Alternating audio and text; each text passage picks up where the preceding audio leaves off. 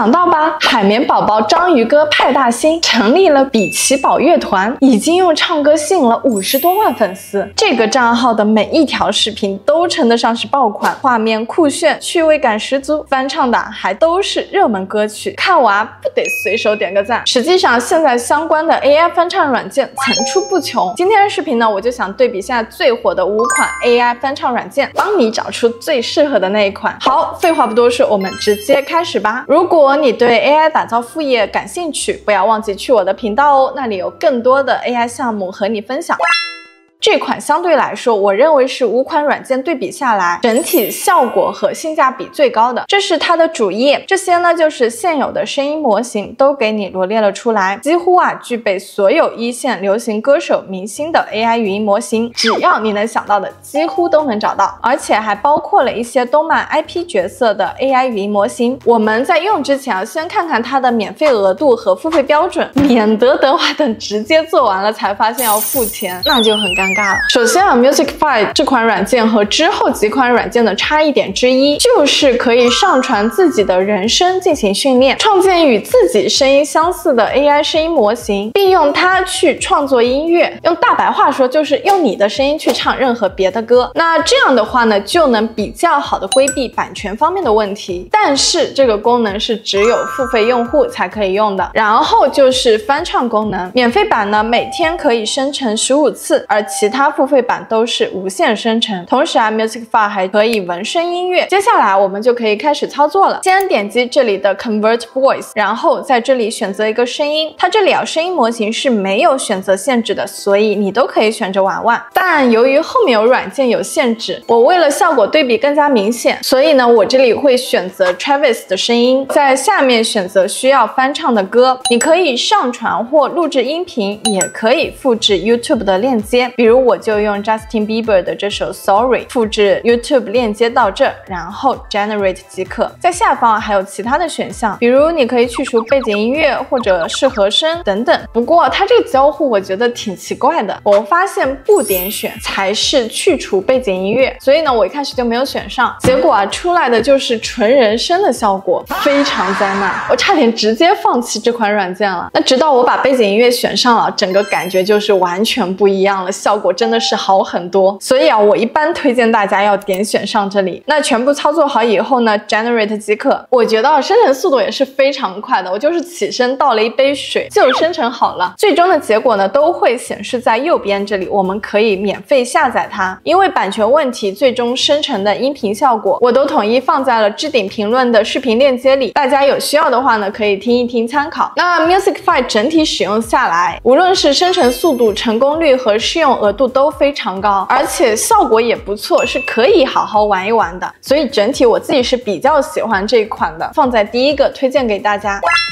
这款软件啊和 Music Five 非常相似，这是它的主页，还是比较简洁的。一进去就是把它有的模型都给你罗列出来，也是有很多流行歌手和知名 IP 的声音模型。我们还是先看看它的付费标准。首先，免费用户只能用指定的三种声音，可以翻唱三次，然后只能个人使用，并且音乐无法被下载。那如果是升级的版本，无论是可供选择的声音，还是生成的次数，能否被商用和下载。所有限制啊都放开很多了。那我用乞丐版，也就是免费版给大家演示看看。因为我只能用指定的三种声音嘛，我就用 Travis 和之前保持一样，在 Rap 这个分类里呢就可以找到它，或者也可以直接搜索。找到声音以后呢，选择它。在这里我们有三种选项：Voice to Voice，也就是一段音频可以转化为它的声音；Text to Voice，也就是用它的声音读一段文字。而我们这次要用到的是 Cover Song。也就是翻唱歌曲，操作非常简单，你只需上传或录制一段音频，或者也可以直接复制 YouTube 上歌的链接，然后 Generate 即可。基本上一分钟左右，它就能帮我进行人声转化，生成好翻唱的歌曲。成片效果呢，大家依然可以在置顶评论的视频链接里面看到。整体使用下来呢，这款软件的优势是效果的确还不错，和 Musicify 呢是不相上下的，生成速度也很快。但缺点是在于它的适用限制实在是太多了，既不能选择全部的声音，还只能生成三次。那如果说你真的要做那种翻唱类的账号的话呢，还是得付费购买它的会员。那除此以外，我觉得有一个小缺点就在于我之前生成的作品如果没有及时下载，我后面就没有办法再找到了。我当时找了非常久，不知道是不是我眼拙，真的是没有找到。如果大家发现这样的一个生成记录的页面是在哪里的话，一定要记得评论区告诉我。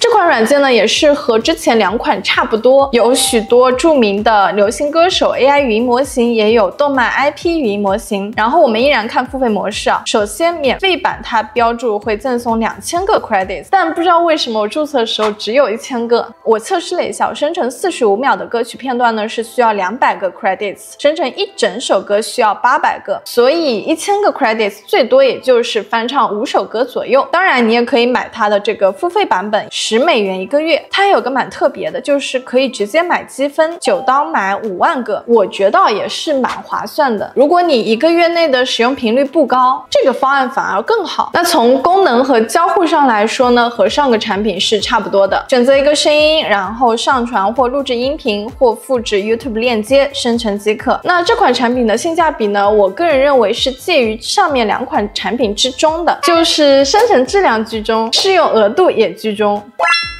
Kiss AI 就和之前的三款产品有一些不一样了，它里面的声音模型啊，基本都是音乐家授权或者无需版权的语音库的 AI 声音，所以啊，在版权方面是可以放心的。不过呢，因为没有知名歌手这一些，所以如果你想要做某个具体 IP 翻唱的歌曲，可能就会有一些难度了。那它的操作和之前的几款产品是大差不差，基本都是选择一个声音，上传音频、录音或复制音频的地址就可以翻唱。不过 Kiss AI 的区别在于，它还可以训练声音，或将不同的声音混合成一个新的声音。除此以外呢，还包括对声音的一些调整等，适合啊对音乐编辑有更高级需求的小伙伴。那整体来说呢，Kiss AI 收费还算良心，给新用户提供三次语音混合生成次数，那最低收费啊是九点九九美金。那如果说你只是做 AI 翻唱的账号的话呢，也是基本够用了。